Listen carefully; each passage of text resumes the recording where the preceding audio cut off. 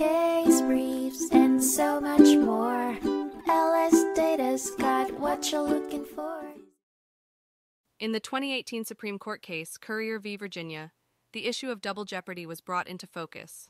Double jeopardy is the legal principle that a person cannot be punished multiple times for the same crime and is granted protection from being tried again for related charges if they have already been acquitted. The case centered around Currier, who was accused of breaking into a house, committing grand larceny, and possessing a firearm as a felon. Although he was acquitted of the burglary and grand larceny charges, Currier later agreed to be tried separately for the felon in possession charge. He argued that the double jeopardy clause should prevent the second trial from happening, as the prosecution could not re examine facts that had already been determined. However, the majority opinion contended that both Currier and the prosecution had agreed to separate the possession charge to avoid introducing evidence of his prior conviction during the burglary and larceny trial. As a result, the defendant was responsible for the second prosecution, and the double jeopardy clause did not apply in this case.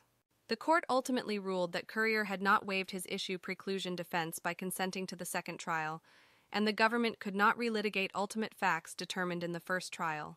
These facts, which established Currier's non involvement in breaking and entering or stealing the safe, were prohibited from use in the second trial. The Virginia Supreme Court's judgment was subsequently reversed. Case briefs, and so much more. LS Data's got what you're looking for. Visit lsd.law, elevate your mind. Leave the stress of class.